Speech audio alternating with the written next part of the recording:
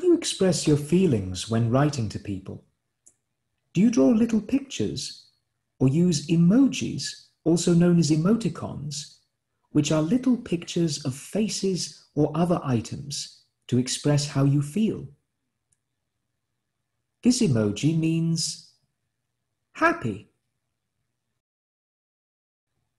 rolling around the floor laughing, shocked or surprised. This one may mean, do you want to build a snowman? Or it's cold outside. And these three together probably mean that you're sad because your cat has beaten you in a game of chess.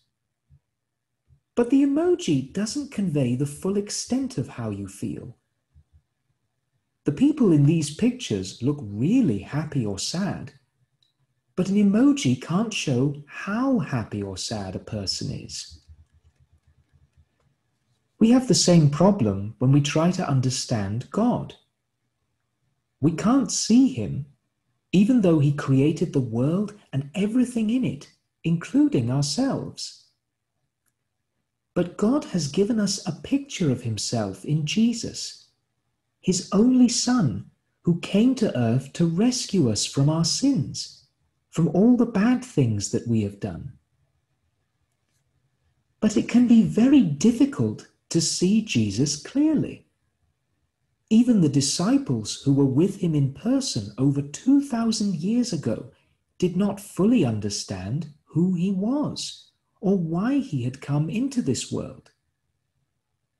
Just as an emoji or an image shows only a partial view of what someone is really feeling, so we too cannot fully see what Jesus is like. However, Paul says in the Bible, we don't yet see things clearly. We're squinting in a fog, peering through a mist. But it won't be long before the weather clears and the sun shines bright. We'll see it all then, see it all as clearly as God sees us knowing Him directly, just as He knows us. Now, we don't ever look at the sun directly because it is so bright we can't see it clearly and we don't want to damage our eyesight.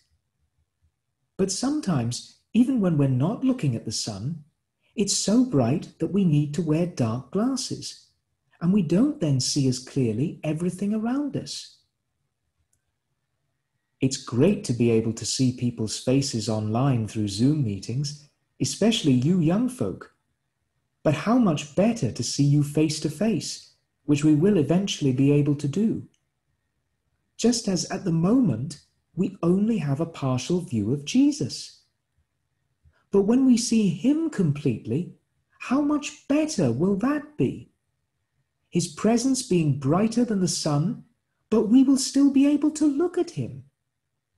And what's even more encouraging is that Jesus can see all of us all the time. Even if we're in our homes, even if we're physically separated from one another, we are never separated from Him. He knows each and every one of us perfectly, and He wants us to get to know Him. Will it not be great one day to see Jesus face to face? But for that to happen, we have to start with this picture he has given of himself in the Bible.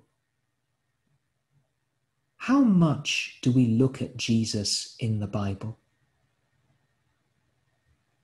And now we're going to sing about that.